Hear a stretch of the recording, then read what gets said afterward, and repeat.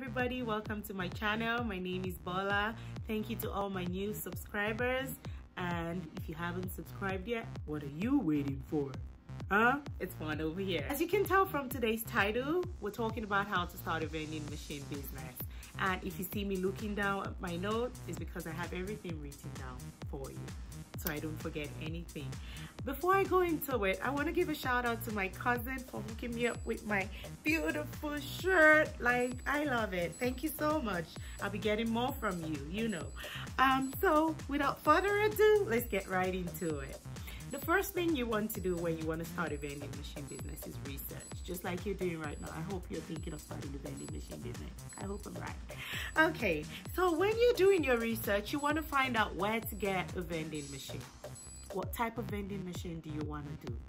Do you want a, uh, a, a pizza vending machine, eyelashes vending machine, food, snacks, or is it combo like drinks and snacks?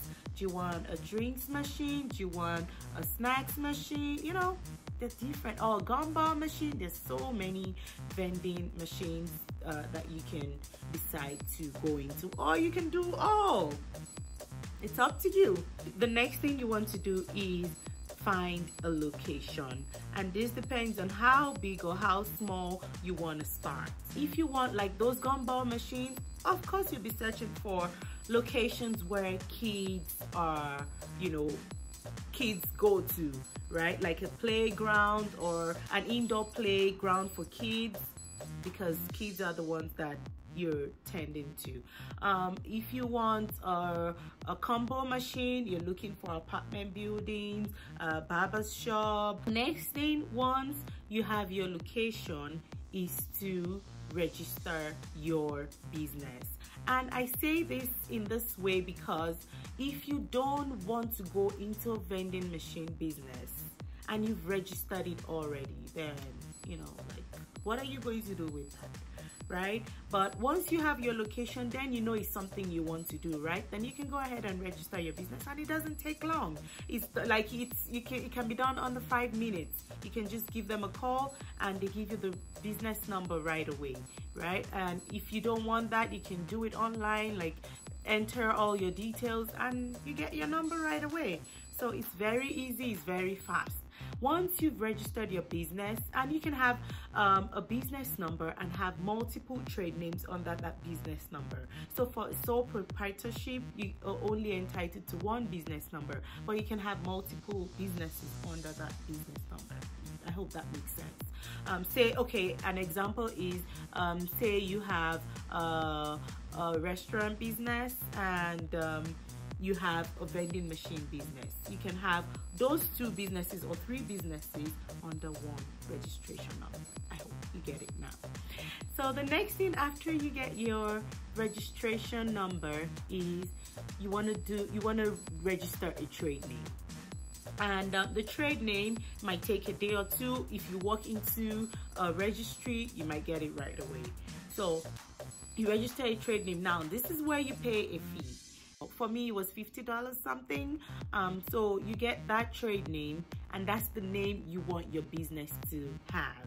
For me it's this Adebola vending. So um, once you have the registered uh, you once you've registered your trade name the next thing is you want to open a small business account and you go to your bank and tell them this is what you want and they will do their banking stuff, you know, uh, and then you get your small business account. Now, once you have your small business account, you can go ahead and place your machine. So, you know, you're in business, right? You have your business account and if you have a vending machine that has a card reader, that money goes straight into your business account, right? For me, I have, my machines have card readers. So it opens it up for people that don't have cash. They don't have the excuse of saying, oh, I feel like a drink, but I don't have cash. No, you can pay with your card. So um, you want, uh, to place your machine. That's the next thing. Once you place your machine, then you can stock it with your snacks and then you price your snacks. right? Or drinks, depending on whatever machine you're dealing with.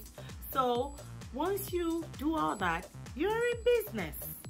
People can buy from your machine, they pay, and if you want a video on how I price my vending machine or how to price your vending machine, let me know, comment below. If there is anything I've missed in this video and you'd like to know, comment below. I can do a Q&A. If the questions are like 10 and above, I can do a Q&A where I answer all these questions. Also, if you want to know where I got my machines, let me know. Anything you want to know, I'm here for you guys, okay?